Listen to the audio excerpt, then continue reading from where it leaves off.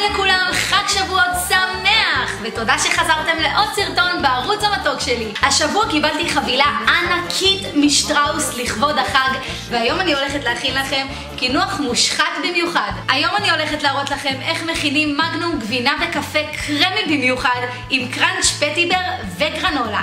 ימי! מושלם מושלם ומקורי לערב החג. אז אם בא לכם לדעת איך מכינים, פשוט תמשיכו לצפות. לקראנץ' נטחן 10 פטיבר של עילית וחצי כוס גרנולה פקן עם 70 גרם חמאה מומסת. נאבד עד לפירורים דקים.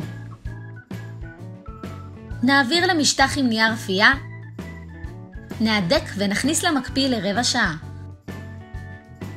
לגלידה נשתמש במיכל סקי וניל ובחמש כפות גבינת סקי. נוסיף רבע כוס סוכר ונערבב. בקערת המיקסר נקציף שמנת מתוקה של יטבתה עם שלוש כפות פודינג וניל עד למרקם יוגורט. נעביר את הקצפת לגבינה ונערבב בתנועות קיפול.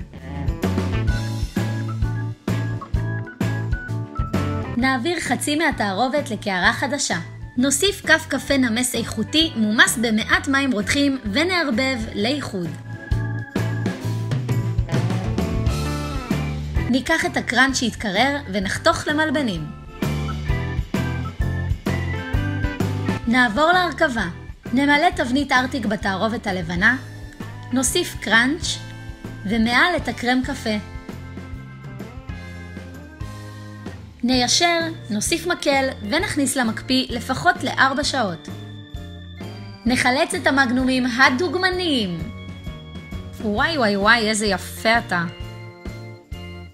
נמיס במיקרו שוקולד מריר איכותי עם שלוש כפות שמן, נעביר לכוס צרה ונטבול את המגנומים.